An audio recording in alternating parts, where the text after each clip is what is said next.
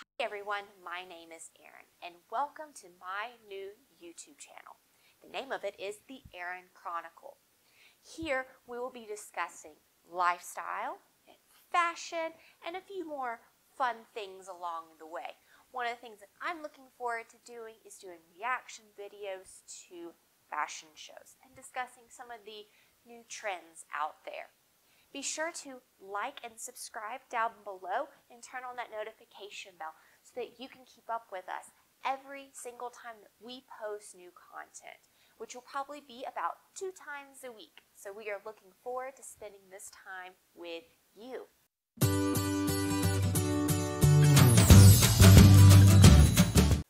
So today we're doing, going to be discussing three trends to beat the heat with only about six more weeks of summertime, which honestly I cannot believe. I am looking forward to incorporating these trends into my wardrobe. Now, I live in Colorado, which means I try to take advantage every single warm day that we get before it everything is covered in ice and snow, which will be here before we know it. So, let's get right into it. Our first trend we're going to talk about, I'm actually displaying right here is a nice button down. Now we saw this in the like of the Dior show, which I'll post, I believe, here, new to the whole YouTube thing. So we saw in the likes of Dior. Now I thoroughly enjoyed this particular show because I liked the fact they highlighted the green aspect. They really highlighted and got inspiration from Dior's sister, who was a passionate gardener. So I loved this blue button down that they really incorporated into lots of outfits. I love to see layered with things underneath vests and even with long skirts and cute belts. Now, how is this something that you could incorporate into your summer wardrobe? The runway's nice and all, but how does it go into real life? Well, as you see here, I like to cuff my sleeves. I also find during the summertime that it is hot outside but cold inside. So it's nice to have something that's a cotton or linen blend that lets you breathe but still keeps you warm. For instance, when I go to the grocery store, I get very cold. It just, it happens. I get very cold. I end up rushing through the grocery store because I'm so cold and just want to get out there. I get to the car, I get home, and I realize I forgot half the stuff on my list. Yes, I did because I was cold. So I've started incorporating longer sleeves into my wardrobe. Now, on the topic of the grocery store, that is pretty much the only place that I get dressed up for. I mean, granted, with everything that's kind of going on, that's where we are. But that's okay. It gives me a good excuse to get out of my pajamas and my workout clothes, which if you find me in my apartment, that's probably what I will be in. Now, this particular button down I picked up about 10 years ago in a thrift store. So you don't have to take fashion trends as you have to buy Dior or you have to buy Chanel in order to be in fashion. Fashion trends are just that. They're trends. They're advice. I like to take it as inspiration, and as I go around looking at different stores, picking things up. Now, some of those are really great to find in the secondhand store, which, as a lot of us are starting to track, is much better for the environment than going out and just buying things straight off the shelf. Now that we've discussed the button downs, we'll go into our second trend, and that is white. White everything. And as you see, I'm showing a bit of white here with my pearl accents. Now I find white to be a great option that makes an easy transition from day to night. Now, I understand if you can't go on a date night. I would love to go on a date night, but as of right now, with everything going on, it's just not a possibility, which is fine. Again, it's a great excuse to get out and have a day date at the grocery store. Yes, my husband and I enjoy a good day date at the grocery store. So white not only looks great in hair accessories, but it looks I think it looks great in shirts, dresses, shoes, and skirts and pants. Now, you do not have to subscribe to the idea that you cannot wear white after Labor Day. That is totally up to you. If you would like to continue wearing white past Labor Day, you do you. If you don't want to wear white until springtime shows back up, that's absolutely fine. I find once fall and winter comes around, I like to go to more muted, neutral colors. It's just how I reflect the seasons around me. Now we're going to discuss our third and final trend. And that is going to be sunnies or sunglasses that are actually useful. Now, as you see recently, we have gone to the more 90s themed smaller glasses.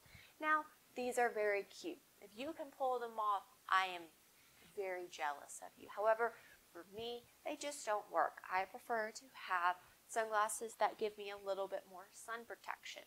So I will be very interested to see in the future, in the following seasons, if we go back to the smaller frames or if we go to the big aviators that have been in seasons, come from seasons past. So, like I said, I enjoy a nice pair of useful sunnies. I picked these pair up at Target for less than $20. They have uh, nice lenses in them, they have nice weight to them. So for $20, I'd say it was a good purchase. So those are our three trends. Now I'd like to share some interesting fashion news that has come out recently. I will be discussing Yves Saint Laurent and Gucci's decision to not become part of Fashion Week anymore. They have discussed the fact that it has it causes fashion to produce too many things which is a degradation to the environment. So, for example, Gucci has said that they are going to go to their uh, uh, to a seasonless year. Now, what does that mean? We're not quite sure. So I will be interested to see in the future what this means for big names that usually are at Fashion Week. I also wonder how Fashion Week will change in the future. Now, I have to admit the idea of coming up with five or six collections a year at a minimum of 20 outfits just seemed like it would be highly draining as a creative individual. So I'm actually happy to see that they're starting to go to something that they are setting that reflects them and their philosophy, and they're not just pumping out for commercial reasons.